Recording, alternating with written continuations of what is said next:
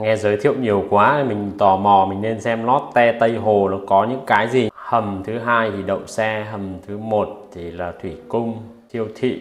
Còn lại 5 tầng là thời trang, phụ kiện, vui chơi, ẩm thực. Siêu thị ở đây thì được trang trí nó khác với cả Bixi. Về cơ bản, hàng hóa bán cũng như là đồ ăn, đồ uống thì bên trong kia, nó cũng giống như là kiểu Bixi thôi.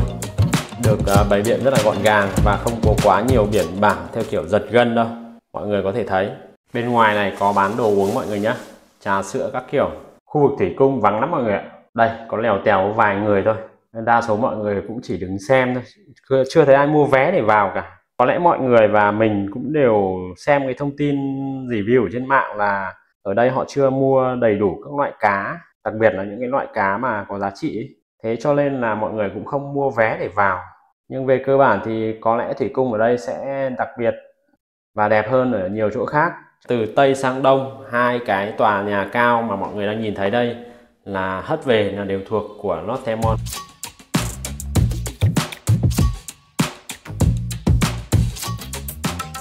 Wow, đây là một cái hình ảnh rất hiện đại. Lần đầu tiên mình thấy cái dạng kiến trúc này mà mình gặp ở Việt Nam ấy Phải nói là rất là đẹp nha mọi người nhé.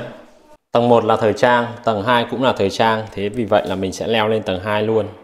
Ở đây mình thấy toàn thời trang à, nước ngoài thôi mọi người ạ.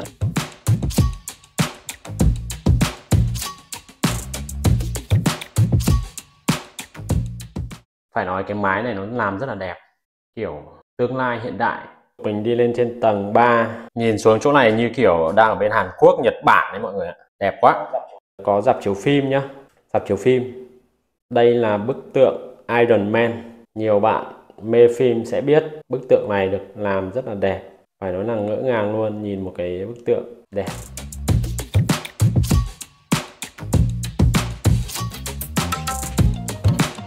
Mình đang có mặt ở tầng 5, khu vườn ngoài trời nhé. Bầu trời ờ, đang tối và họ bật đèn lên rất là đẹp. Ở đây mọi người đang ờ, chụp ảnh với cả một cái dàn đèn led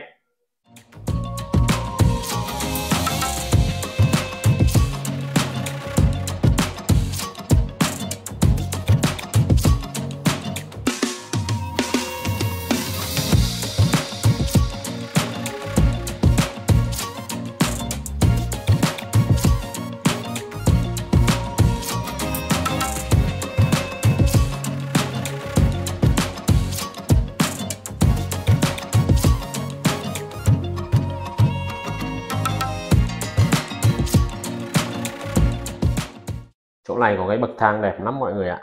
Nhìn kiểu ruộng bậc thang ấy. xong họ cho đèn led vào phải nói là đẹp. Ngồi đây cực kỳ đẹp luôn.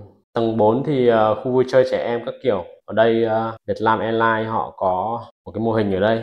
Và bày trí như kiểu đang ở sân bay ấy mua vé để vào chơi. Cũng hôm nay là không thấy có đông trẻ em hay gì cả. Thật sự là rất vắng. Không thấy trẻ em đa số toàn thấy uh, thanh niên thôi. Một hình ảnh nhìn từ trên cao xuống rất rộng lớn và đẹp tiếc rằng mình không đi cái cầu thang máy, cầu thang đứng như kìa, mình đang đi cầu thang cuốn. Đứng này thì nó sẽ thú vị hơn này. Như kiểu mình đang chơi một cái trò mạo hiểm nào đó, kiểu từ dưới đất lên trên cao nhìn xuống rất đẹp. Đây là khu vực chụp ảnh Giáng sinh nhá.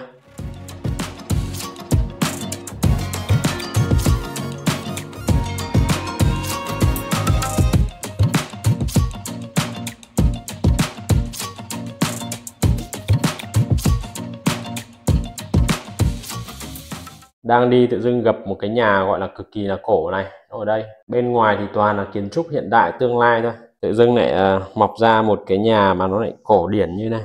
Phong cách cổ xưa kiểu Việt Nam đây cổng của Lotte Mall buổi tối này. Đèn sáng rực rỡ. Nếu mà đi bên ngoài thì mình đã đi hết những cái điểm mà nó ấn tượng ấy. Còn vào bên trong ví dụ như là vào trong thủy cung hay là vào trong khu cho trẻ em thì mình chưa vào. Đấy là những cái gì mà mình trải nghiệm để cho mọi người xem. Video của mình tới đây là hết. Xin cảm ơn mọi người đã theo dõi. Hẹn gặp lại vào clip sau.